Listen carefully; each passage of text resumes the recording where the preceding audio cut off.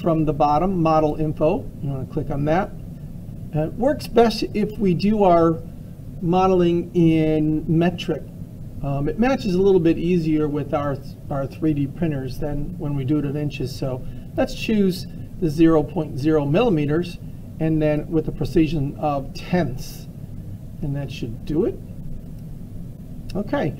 Um, I'll give you a moment. Why don't you go ahead and do all those things? Um, get rid of the person, uh, rename it, put it into your, your Google Drive, and then set the, um, the scale to metric.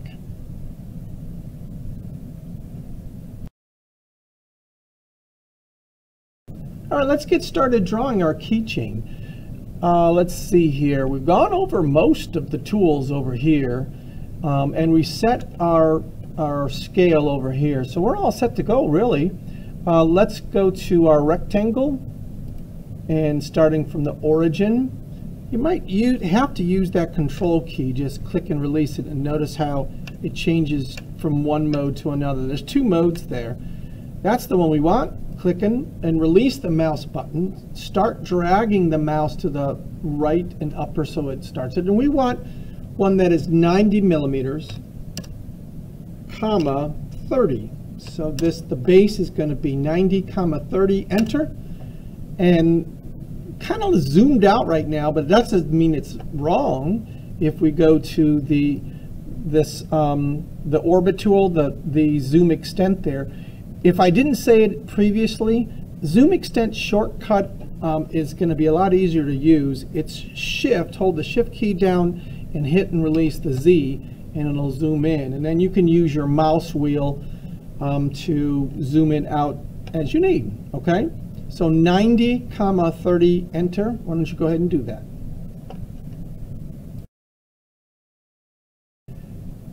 Let's use our orbit tool to orbit down so we can and then use your mouse wheel and keep doing that until you get kind of close. We're going to be working with this top section here. Um, just a reminder also your orbit tool is here for sure but if you no matter where you are what tool you're in if you press the mouse wheel down and hold it down then it'll turn into this orbit tool which is kind of convenient.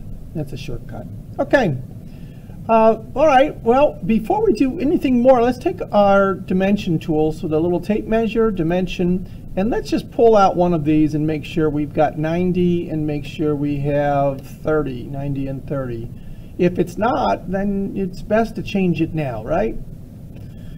All right, once we're done with that, we'll take the tape measure and we're gonna make some guidelines to find the center of a hole that's what we're about to make here. But let's take that tape measure and put it on this top line. Make sure it's not on the midpoint, but someplace in between the midpoint and one of the corners. You could do it here, you could do it there. Click the mouse button, hold, and drag downward.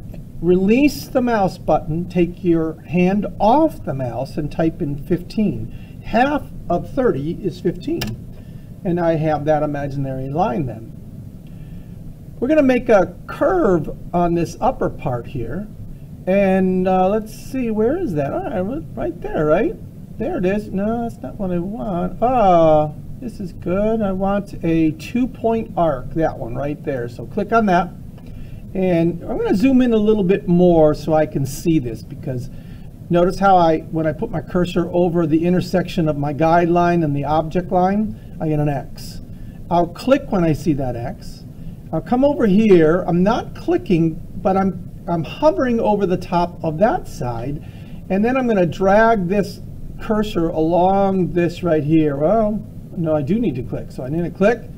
And then I drag it along here. Now this is the really uh, most important part right here, is making sure that you click when you see that little blue globe looking thing, okay? There we go. All right, why don't you do that then? We'll pause it right here. Go ahead and, and make your guideline and your half circle.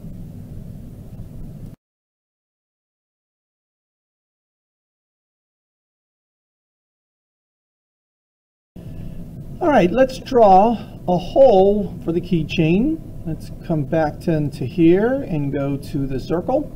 And I, am not exactly sure where the center is, uh, so I'll line it up and just hover over there and there, and notice how the circle, or the center of the circle comes in then. All right, and then I click in the center, release the mouse button and, and drag the mouse, take my hand off the mouse, and I think we're gonna use five millimeters.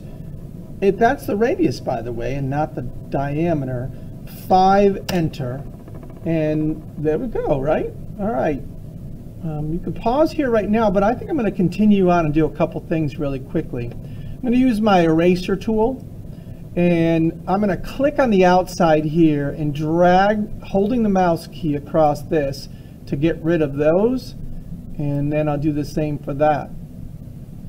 If you have problems with this, sometimes when you didn't connect this to that top line, you have problems. You, you have to get rid of all those lines up there. So if you have problems, let out a yell and the teacher will be around. Let's use our select tool and click in the center of this circle. Use the delete on the keyboard. And yeah, we're looking good. Well, let's pause right here and get all those things done.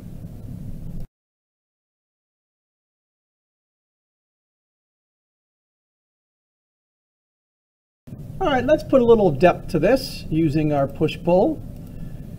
Click and start dragging upward, hands off, type in three, enter for three millimeters, and now we have um, an object that is three millimeters in, in depth. Okay, let's do. Let's use a new tool now. We'll go back to that push-pull and use what's called an offset. I think sometimes it's best to, to show you this.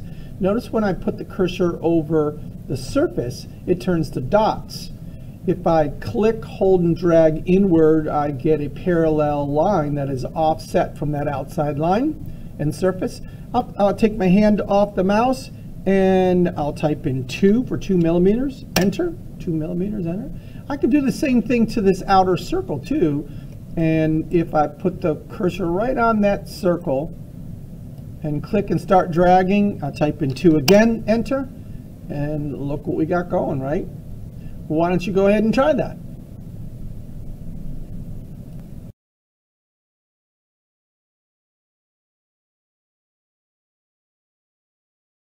There's a lot of little steps, aren't there? I hope you're doing good. Okay, let's go on to the next step. Let's go back to our push-pull. And let's raise this, this part and this part up. Uh, 1.5, so click, hold, and drag upward. 1.5, enter. And again, this one, start dragging it up, hands off the mouse, 1.5, enter. And why don't you go ahead and do that?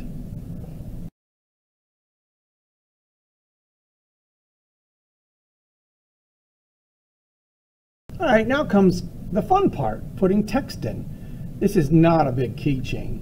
Maybe five, six, seven letters, one line. That's the most you, will get and it, it'll look good. Let's go to our 3D text tool. Uh, let's see, where is it? Oh, there it is, by the circle right down there, 3D text. So you enter your text here. Let me go, I'll put smile in mine. You can change your font here. There's not too much to choose from. You can make it bold or regular. Height is probably going to be, I don't know, it might be 150 or so. You, you don't want that. Uh, put it down to 5, and the text extrusion, put it down to 5. And then you could you could um, work with that. I'll show you that in a second. So I, I press OK. There it is. And set it. Oh, it's too small, right? Okay. Let's go to our Move tool down here. We're going to choose the scale. Watch what happens when I click on this. I got all these little handles in. Just go ahead and play. They all do slightly different things. You'll figure this out. You know, just manipulate it so that it is it is big enough to to put in here. Now here's another thing you should know about is back in this is the move tool and then you can move it um, and line it up to the inside of that section there. Use your move tool then and your scale tool, a tool to get it how you want it to be and then um, come back to the to the movie.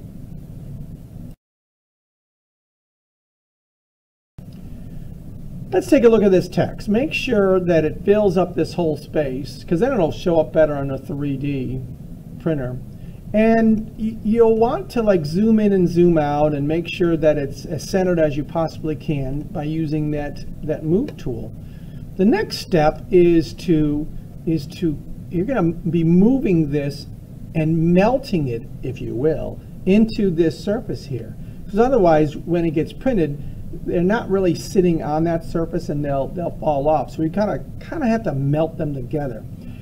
Best to immediately go to your select tool and right click and say unglue.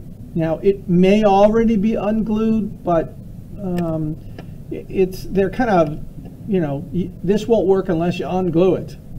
Now I'll go back into this, into my move function, move tool, and I will click and hold and drag downward. See how it kind of kind of melted into it? And that's what you want to do. It's a little tricky. Sometimes you have to uh, move it around a little bit. But when you see it kind of melt into that top, top surface, then you've done it correctly. You also want to manipulate it and go to the back and make sure the text didn't come through the back.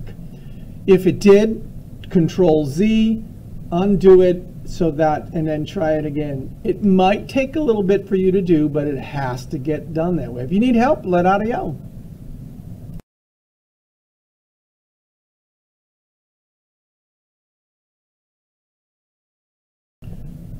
I think you're pretty much done if you've gotten to this point. Uh, you, you could ask the teacher to come over, me, and see if it's okay. Um, just make sure that on the bottom you don't see text, okay? And then uh, let's see here, make sure it's saved. And then we need this in what's called an STL, STL format. It's what the 3D printer looks for. And this is a SKP. If you turn this file in, we can't print it. I have to have that STL. Here's how you do it. Click on the folder, go to export, go to STL. It's going to download though, and it's on the left hand side. It's the bad part about this all. You have to get this file turned into your, to your Google assignment, okay? And really there's no easy way to do that. Um, other than maybe going to showing where it is in the folder and like before, and you've done this before, is go to My Documents and then Downloads. So you, you could go to your drive and you could go to the folder that you created for these file for these files. There's my Google SketchUp. And I then could go New, File Upload, and then find your Downloads folder. There it is. Oops. And date modified. The last one that I that I made must be this one. Yeah, I guess it is. There's the STL, right? I think I did it twice, but in any case, there's that STL, and that's the one that you upload. And of course, this is the file that you want to turn into your Google uh, assignment because I can't take an S I can't take an SKP file or Google SketchUp file and throw it over to the 3D printer. It won't even see it. It has to be the STL. Well, that does it. I hope that works. Let out a yell if you ever you need help, and uh, I think it'll be okay. All right, smile often.